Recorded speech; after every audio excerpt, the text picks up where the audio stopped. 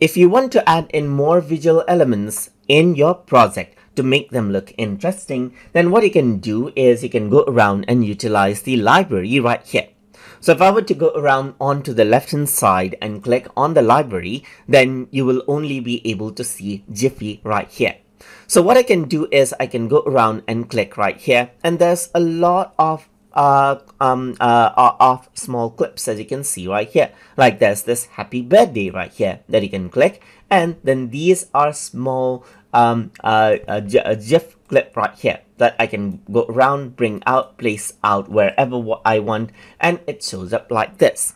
So there's something like let's say for example um, uh, travel right here. So let's just go around and search for travel. Then you can find GIFs related to travel right here. So this is from the Giphy library right here.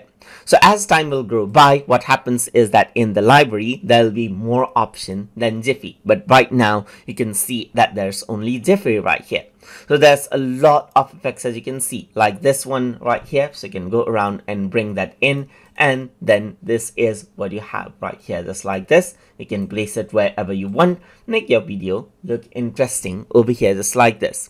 You can also go around and get different stickers as you can see right here uh, right, uh, just like this. So GIFs are like small clips of different video clips uh, which are famous, while stickers are more like graphics right here.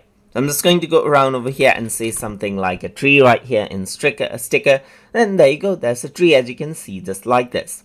So I can go around and bring in this tree, for example, and then you can see that it can be added over here on my video clip right here. So you can go around, place it wherever you want right here, just like this. And there you go, there's a video effect, an instant video effect right here.